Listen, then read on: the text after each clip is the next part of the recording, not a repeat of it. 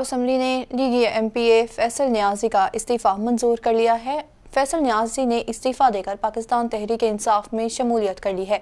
फैसल न्याजी ने वजी अला पंजाब के इंतखब से कबल अपना इस्तीफ़ा पेश किया था।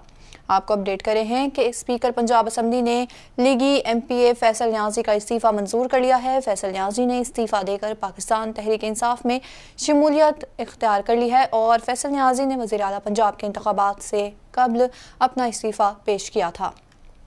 ये अपडेट आप तक पहुँचा रहे हैं कि स्पीकर पंजाब असम्बली ने लीगी M P A Faisal Niazi का इस्तीफ़ा मंजूर कर लिया है। फैसल न्याजी ने इस्तीफ़ा देकर पाकिस्तान तहरीक इंसाफ में शमूलियत इख्तियार कर ली और फैसल न्याजी ने वजी अला पंजाब के इंतखब से कबल ही अपना इस्तीफ़ा पेश किया था।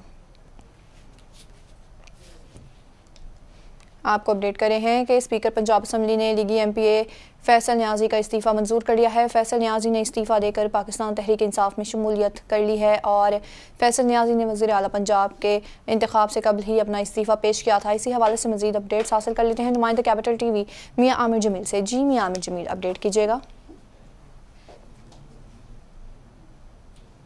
जो है फैसल न्याजीन का इस्तीफा मंजूर कर लिया, जबकि फैसल न्याजी ने इस्तीफा देकर तहरीक इंसाफ में शमूलियत हासिल कर लिया इस वक्त और इस लाहौर में, लाहौर से ये एम पी सेलेक्ट थे फैसल न्याजी, जो कि वजी पंजाब हमदा शबाज के इंतबात से कबल जो है इस्तीफा पेश किया था। फैसल न्याजी ने अपना इस्तीफा जो है स्पीकर पंजाब असम्बली को जो है चौधरी फिरोजला को भिजवाया था। लेकिन अब जो है इनका इस्तीफा जो है स्पीकर पंजाब असम्बली ने मंजूर कर लिया जबकि फैसल न्याजी जो है उनका इस्तीफा जो है पंजाब असम्बली के मुताबिक जो है मंजूर हो चुका है, जबकि फैसल न्याजी इस वक्त जो है तरीके इंसाफ में शमूलियत अख्तियार कर ली है। जी। जी, मैं आमिर जमील, बहुत शुक्रिया तफसलात से आगाह करने के लिए।